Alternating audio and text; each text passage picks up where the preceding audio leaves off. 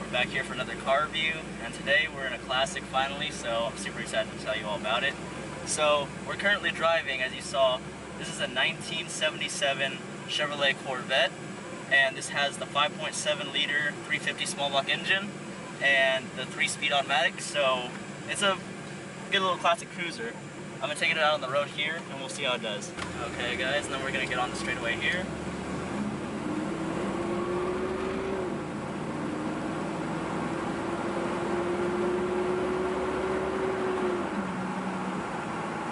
So, compared to like modern horsepower and everything like that, it's not the fastest obviously, but for back in the day it was pretty quick.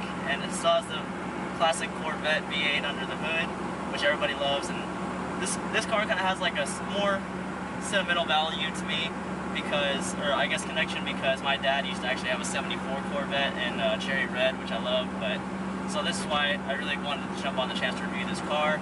And this one is uh, actually a all original 46,000 mile example car, which is really good. And there were some that came with the uh, manual transmission. I think it was a four-speed manual, if I'm uh, not mistaken. But the three-speed automatic is a nice little cruiser car. And honestly, for a 77, it's extremely comfortable. Like these, uh, it has the leather interior and it has air conditioning from the factory too, which is really nice. All the cool gauges work, and it's really just a nice little cruiser car. So, I mean, it's just it's a lot of fun too. It's not, like I said, like not the fastest, but it's just more fun. Another thing that you're gonna notice, like about these classic Corvettes, the C3 and everything, is that they're a really big car.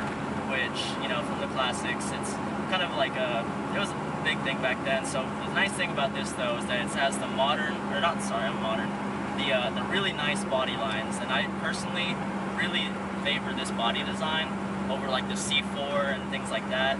Uh, right up until like I think this looks a lot better than the C4 and some C5s, but the C6 obviously looks a lot better than C2 everything. But it's just this is one of the nicer like classics of the Corvette era, and with a little ducktail, I think it comes along really well. Some of them, I think you, you obviously have the ZR1, which is extremely rare to find, but it's still a fun car. And then you also have the official pace car. I'm sorry guys, I'm gonna change lanes.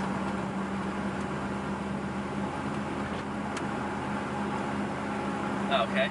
So like I said, you have some different trim levels, and then another thing too is that you have the option of T-tops, and then you also have a uh, very big interior. Like I'm a short guy, and I have a ton of room, which is kind of unheard of for Corvettes, because you know, in the kind of modern ones, you're kind of squished in there, but it's more performance oriented. I get it.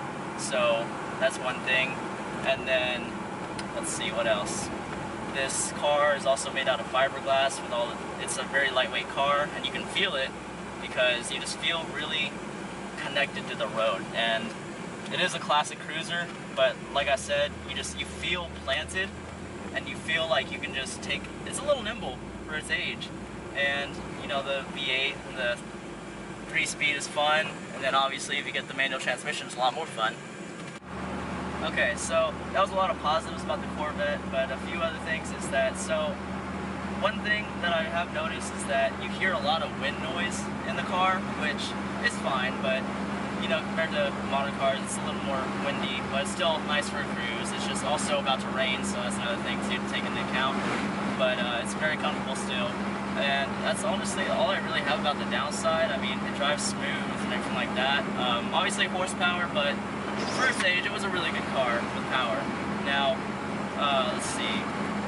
I think one thing that people would like to buy this car for is, I guess, bonding. So, for a little history, when me and my dad were building his Corvette, there was a parts catalog for everything you needed. We actually built that car, painted it, did everything to it, and it was really affordable, which is kind of like, you know, bond over like with the classic Fox bodies and everything like that because they're cheap and they're fun to work on, easy to work on, which is nice about this. So I'd say, you know, you want a classic cruiser car, you should look for a C3 Corvette, obviously, because it goes with the Fox body and everything like that. It's not the same era, obviously, it's just in pricing and then just in fun, easy to find parts. It's a good, good car and a good platform for either cruising or you can do an autocross or if you want to be out there and crazy but awesome, you can do an LS swap into this and make it a more modern power plant, which would be insane if I could see somebody do that, but that'd be a lot of fun.